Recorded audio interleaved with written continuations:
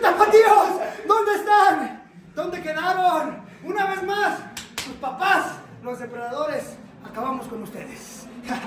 No son pieza, siguen quedando a deber esta máscara del marranito mayor.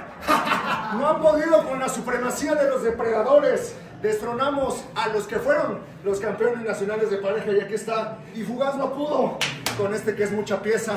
La elite físico-atlética del Consejo Mundial de Lucha Libre con mucha potencia, gritando porque somos 4x4, 24-7.